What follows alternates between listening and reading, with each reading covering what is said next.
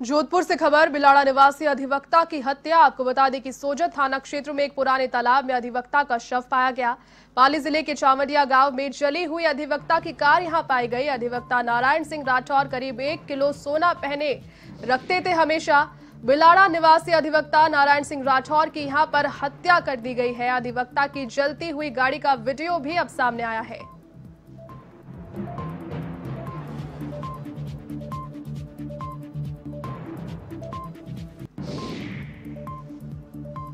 बिलाड़ा निवासी अधिवक्ता की हत्या का ये पूरा मामला। अधिवक्ता की जलती हुई वीडियो, जलती हुई गाड़ी का वीडियो यहाँ पर सामने आया है।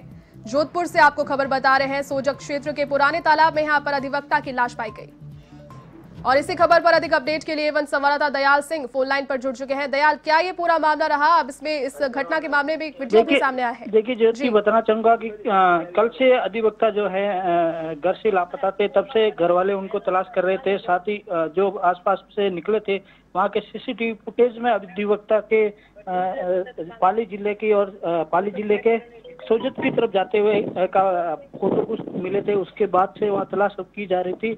आज सवेरे जो है इनकी एक लाश मिली थी पाली ज़िले के चावड़िया गाँव में जली हुई मिली थी और हाथ पैर बंधे हुए थे और बावड़ी के अंदर लाश मिली थी। साथ ही जो सड़क है सोजत रोड की वहाँ पर उनकी गाड़ी भी जली हुई हालत में मिली थी।